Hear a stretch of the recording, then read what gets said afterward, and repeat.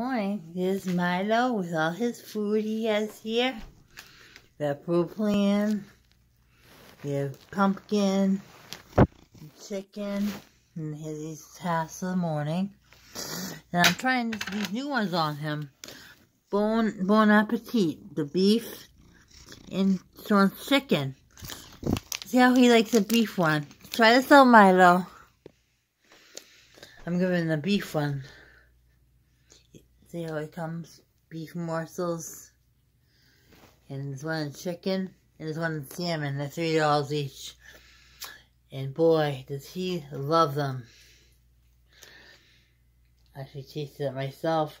All that's in it is deboned beef, beef broth, fish broth, dried egg whites, beef liver, potato starch, natural flavor, guar gum, dried egg product, sodium phosphate, salt, sodium carbide, and inulin, rosemary, sage, thyme.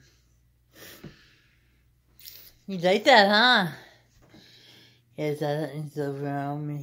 Let's, let's take a nap on there. And these clean kitty litter. We'd like to see you, Milo. So we get a close up on.